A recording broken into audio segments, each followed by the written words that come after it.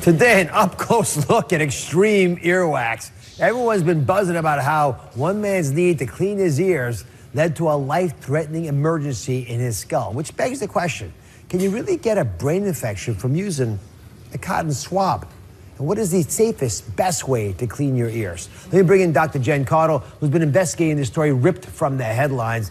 Tell us more about this case of an ear cleaning that really, really went wrong. This, I honestly, this case is remarkable to me. It was a 31 year old male who unknowingly got the tip of a cotton swab, just like this one, stuck in his ear canal. So we're talking about kind of right down here, okay?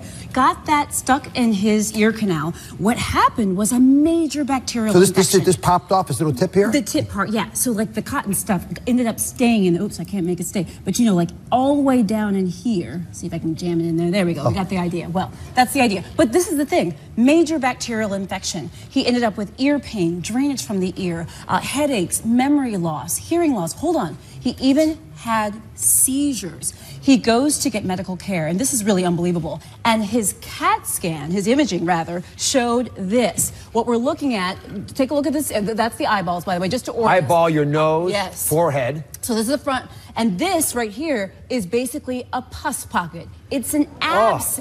So what happened was this bacterial infection basically traveled to this area of the brain and the cranium. Unbelievable. People go to great lengths to get rid of their earwax. I didn't even realize how deep everyone's obsession with earwax was until I went online. Take a look at some of the videos of extreme earwax. You will not believe these.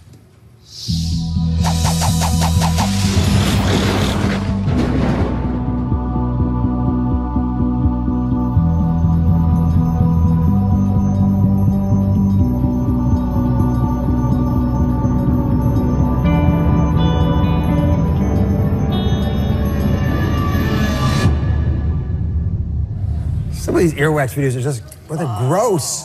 Why, why does the body even need earwax? Yeah, so I have to say, it, it, it does seem kind of gross. So many of us think it's gross. I clean out earwax a lot in my family practice office, but we really shouldn't think about earwax as being gross because actually it's very helpful and important. First of all, earwax has antibacterial and antifungal properties. That's so important for keeping bacteria out of our ears.